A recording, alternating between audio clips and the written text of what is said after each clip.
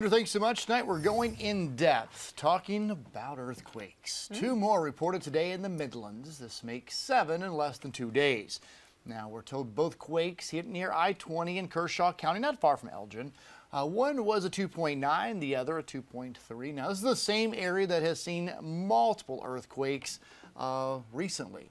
Uh, dozens, in fact, reported since December. Fox Carolina's Brookley Cromer talked with an expert about the recent uptick we're seeing. in Brookley, what's he saying about these quakes? Why are we seeing them all in that concentrated area?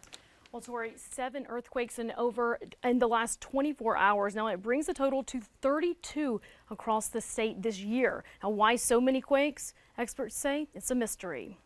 That began on December 27th uh, 2021 uh, with a magnitude 3.3 earthquake.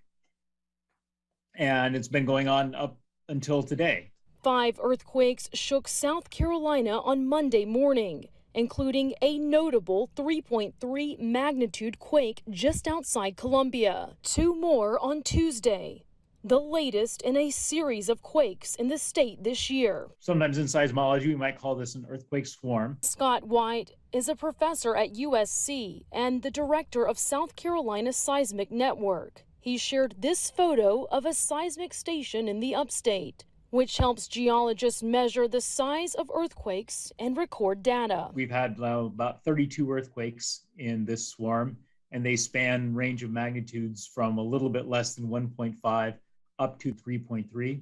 Unlike weather, quakes are unpredictable and can happen at any time. They're all related to just the release of stress in the Earth's crust, where two big blocks of rock kind of slowly jag against one another and break.